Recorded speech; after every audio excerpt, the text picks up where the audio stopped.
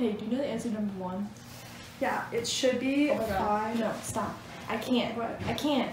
Your shoulders, they're blinding me. Oh my god, I have to leave. I can't. Teacher! What is this for? Dress code. Do you want another one? Detention. I don't. No.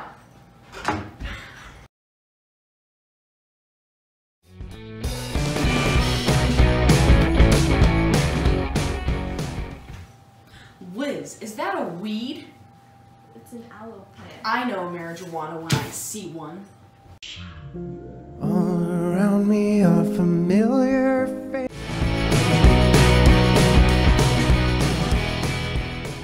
Okay, class, what'd you. Amanda, is that a hat? Yeah. Take it off. There's no hats at school. What about number. Amanda, didn't I just say no hats? Fine. And that one too. That's it.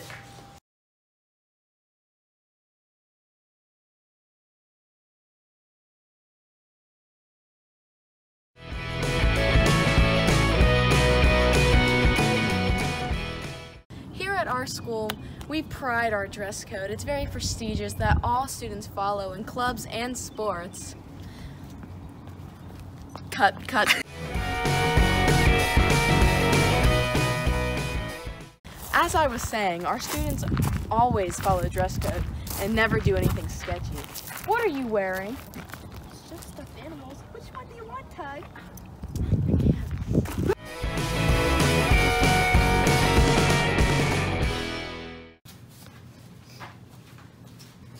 Um, Liz, what is that?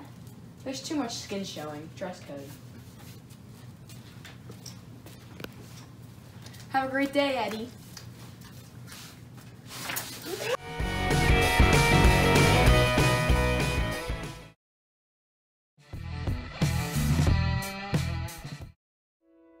Making my way downtown, walking fast, faces pass, and I'm homebound.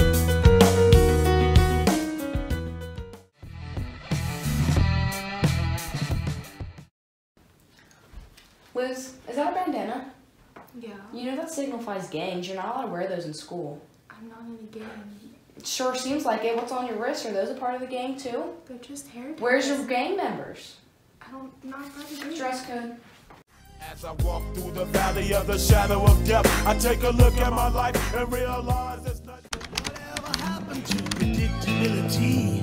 The milkman, the paperboy, the evening TV.